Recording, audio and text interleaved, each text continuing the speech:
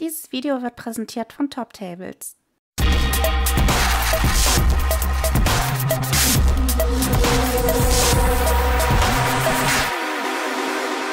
Ich begrüße euch herzlich zu diesem Video, in welchem ich euch Pioneers of Pagonia, das neue Spiel von Siedlererfinder Volker Wertig vorstellen möchte.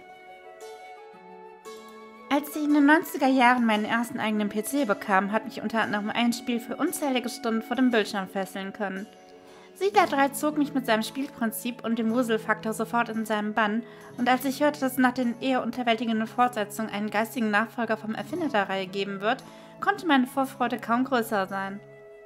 Pioneers of Pagonia ist ein Aufbausimulationsspiel, das euch auf die fantastischen Inseln von Pangonia entführt, die jedes Mal neu und zufällig generiert werden. Ihr beginnt mit einem Schiff, das an einer Küste anlegt und müsst euch eine Siedlung aufbauen, die eure Bedürfnisse erfüllt.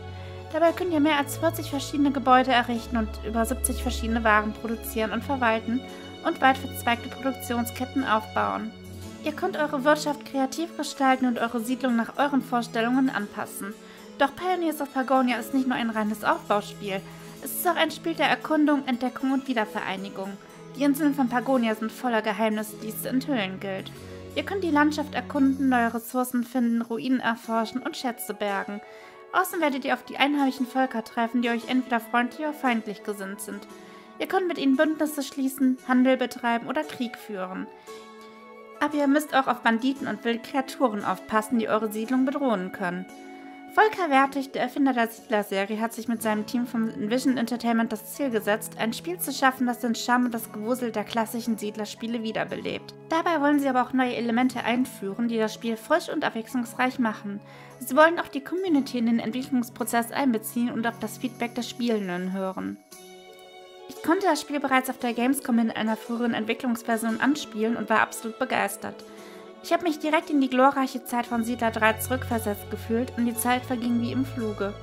Zum Glück dauert es nicht lange bis zur nächsten Gelegenheit nach Pagonia zurückzukehren. Nach der Closed Alpha Ende September startet Pioneers of Pagonia am 13. September in den Early Access bei Steam und wird noch um viele Features und Inhalte erweitert werden.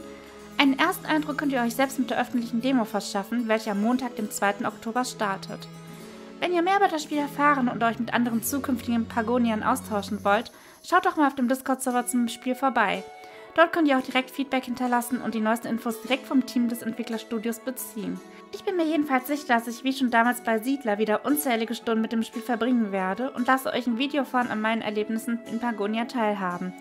Das war's für dieses Video. Ich hoffe, es hat euch gefallen und ihr freut euch genauso sehr auf Pioneers of Pagonia wie ich. Wenn ihr mehr solche Videos sehen wollt, dann lasst gerne einen Daumen nach oben da und abonniert den Kanal. Bis zum nächsten Mal und bleibt wuselig. Euch hat das Video gefallen? Dann würde ich mich freuen, wenn ihr ein Like da lasst. Und falls noch nicht geschehen, abonniert doch gerne den Kanal.